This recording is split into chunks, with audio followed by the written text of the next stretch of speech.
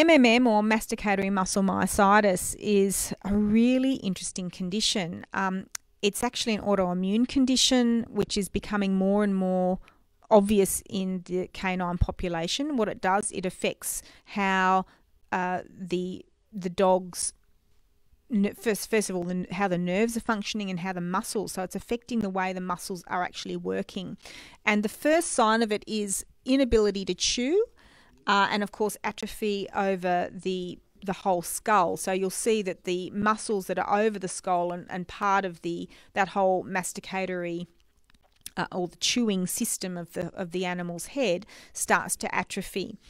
And it is it is a diagnosis which is yeah, becoming something like we we treat we would treat probably five of these a week um, globally because I, I, don't know why there is there doesn't seem to be many people um, who understand how it works, but we I do I worked out a, a treatment program for this around about um, eight years ago, and we've had so much success with this program it's amazing.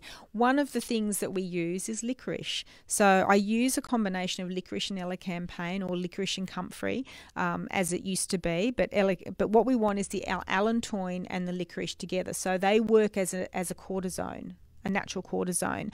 And because the treatment for this medically is to use cortisone, that's how they treat it. And it's a very hit and miss kind of treatment because pretty well much the vets will say, well, there's nothing we can do, just treat it with cortisone, with the hope that the body corrects itself. Now, the success rate of that's pretty low. Um, but we do we have found that with the herb, herbs in support, we're getting them off the cortisone and actually getting 100% recovery. In fact, we've got quite a few testimonials on, on the website now about having done that. So, our treatment is, of course, this natural cortisone that, that we like to put together, which has got licorice in there and elecampane or comfrey.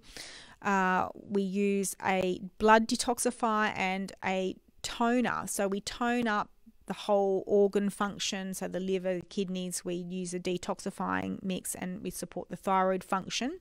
And that's because, again, when you're thinking about how the immune system is working or not working or it's over responding, uh, in the case of autoimmunity, it's the immune system is attacking itself or attacking its own cells because it sees the body as as a foreign invader, which is clearly um, a back to front way of thinking if you're the, if you're the immune system.